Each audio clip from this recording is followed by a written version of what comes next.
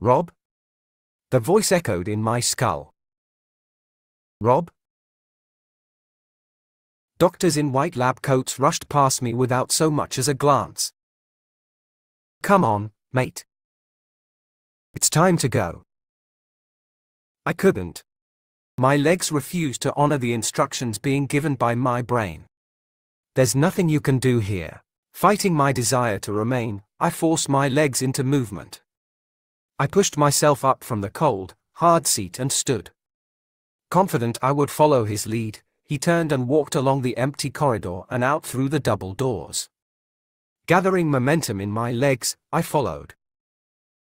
I knew he was right and yet I still didn't want to go. I looked up at the pleasing face. Sorrowful eyes, just peeping from behind puffy red sockets, studied me. Please. As I walked down the vast corridor, I stole a sideways glance through the window to my left. It was not as gruesome as you might want to imagine, but nevertheless, still as haunting. This is when the finality of the situation hit me. He was my friend, my teammate, and my tutor. Now all that remained of him was a cold body lying on a bed covered by a blood-stained sheet.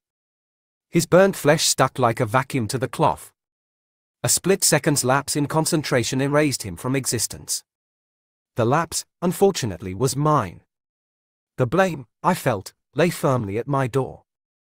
The collision itself had not been restricted to one car, including myself, three cars collided. I got away comparatively unscathed. I looked like I'd been locked in a room with an anger ridden cage fighter for three hours, but I was alive. I was in one piece and I was relatively coherent. Coherent enough to be discharged anyway. My burns and breaks needed monitoring, but I refused. I just wanted to leave that place. I didn't care if I died the same day, so long as it was away from the hospital. The stench of death and pain of knowing scalded my eyes. My family were a plane journey they couldn't take away, so I'd been temporarily released into the care of Ross. My team principal. We sat in the back of the car for half an hour. Motionless. Silent. Neither of us knew what to do, so we just remained. Eventually, it fell to the company driver to coax us out of the car and navigate us towards the hotel doors. After being ushered back into the relative comfort of my hotel room, I was left truly alone. In the hospital, it was a flurry of constant confusion. Doctors, nurses, engineers, family, anyone and everyone who could fit in the corridor were there. The press split over into the adjoining corridors until finally the doctors decreed enough was enough and called time on the circus. In that time, I was never alone long enough to think a constant distraction provided by those close to me in an effort to spare me from the truth. I felt betrayed by Trent, although I could hardly hold him accountable. The fault was my own. Ross spent countless hours trying to convince me otherwise, but it was all in vain, I knew he was lying. I wanted the footage, my requests were denied.